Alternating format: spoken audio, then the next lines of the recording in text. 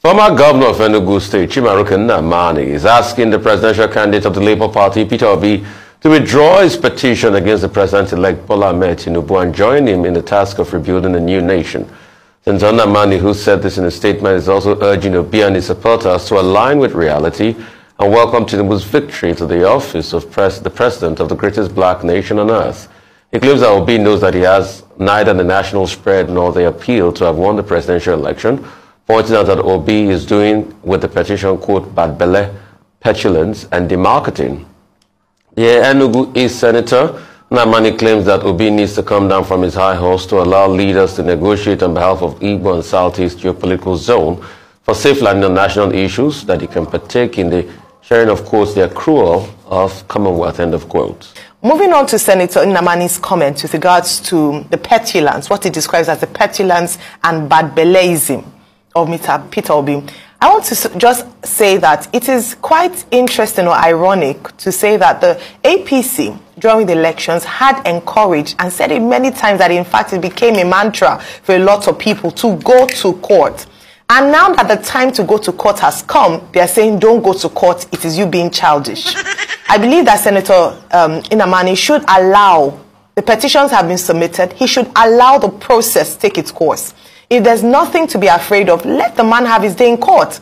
Anyone should have the right to seek um, to seek redress if they feel aggrieved. It should not, that narrative should not be pushed in terms of you're being childish, you're not there for Nigerians because you decide to go and seek redress for what you feel or what the candidate feels was not a fair process. Let him go to court. Let the judge or the court decide who is, you know, what is right or what is not right, and let him stop this narrative of saying that, oh, you're, you know, this is um, in, in bad taste, you're just jealous because you didn't win. We need to stop this. We have a court system and a judicial process for a reason in the Federal Republic of Nigeria. Okay, uh, Dr. Chimaroke Nnamani, saying that Peter Obi should just forget about his uh, uh, case in court, that he's a spoiler, uh, he's, uh, he's trying to sabotage uh, Bola. Well, both Dr. Chimaroke Nnamani, Senator Chimaroke Nnamani, representing Enugu East, former governor of Enugu,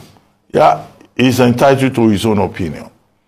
But his opinion cannot override the opinion of Mr. Peter Obi, who was a candidate in the last presidential election, and who says that there are issues. And he has taken this step, and he has continuously insisted that he will seek legal and constitutional means to put his grievances on the table. And he has already filed a petition before the Presidential Election Tribunal.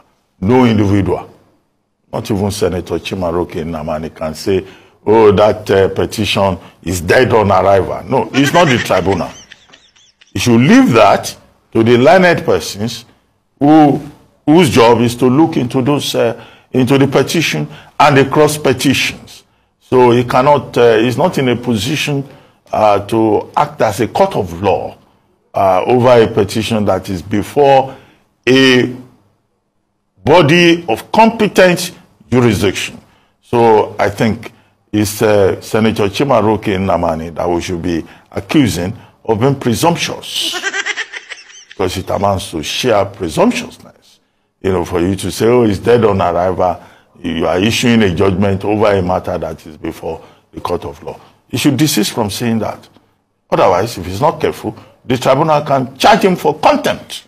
Esfashikulia. That's what uh, Senator Nnamani is doing. It amounts to busybody action.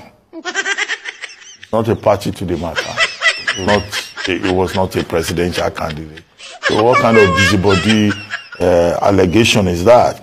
saying that uh, uh, Peter Obi going to court uh, is a joke.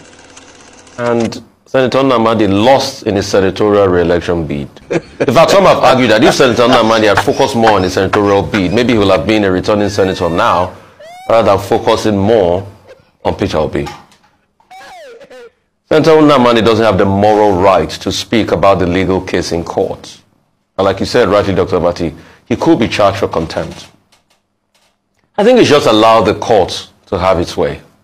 Let the court decide on this. You never supported the man, so why are you trying to offer any advice to him now? I ask you, you never supported the man, so why don't you just leave the man alone to be able to go through his legal process and let the court rule as regards this? You are not a party to the matter. The one before you, you didn't win. You didn't win your own senatorial election. You said you're going to support the APC presidential candidate, and everybody says you have a right to support whoever you want to support. So please, this obsession, I call it with Peter Obi. And really, why is there this obsession about the candidate that came third? Didn't INEC say he came third? So why is there an obsession with him? It is only in a contest like this I've seen that there's never been so much obsession with the man that came third. Everybody wants to pull down the man that came third. Hmm. People have won the elections. Keep it moving. But why is there this obsession about the man that came third? I ask. Because it's just a carryover of that obsession that we're seeing. Cases have been filed in court. Even the APC had given their response. I think probably trial will start anytime soon. Let's just watch the interesting fireworks coming up. We expect Senator Nnamani to know all of this. And the Muslim community in Anambra State has commended the presidential candidate of the Labour Party, Peter Obi, for his unwavering support to the community from his days as governor of the state. They also described Obi as a tribalist Nigerian who does not segregate against tribe, religion, or ethnicity. Speaking at the Central Mosque in Onitsha, where Obi went to mark Eid al-Fitr with them, the secretary of the Muslim community in Anambra State, Mahmoud Imam, expressed their displeasure with what he describes as unnecessary lies and propaganda being used against the person of Peter Obi. He said they were not happy with the religious and ethnic colorations being given to Obi and his quest for a new Nigeria. Peter Obi later donated a cash gift of 500,000 naira amidst some other food items to the Muslim community. Lots of we have one country, one Nigeria.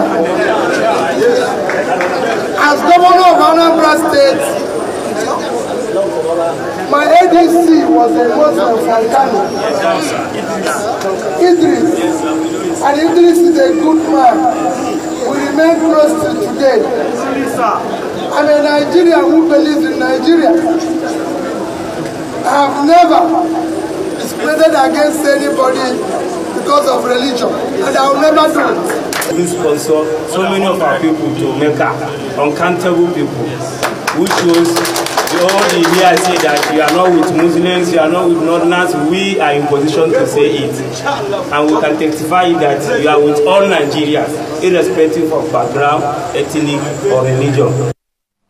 Let's talk about Ayo. Yes, let me let me start with that last uh, story with um, Mr. Peter will be going to visit the Muslim community in Anambra State in celebration of Eid el-Fitr, marking the end of the holy month of Ramadan, 30 days fasting, um, as along with other things in terms of generosity, giving back um, from the Muslim community.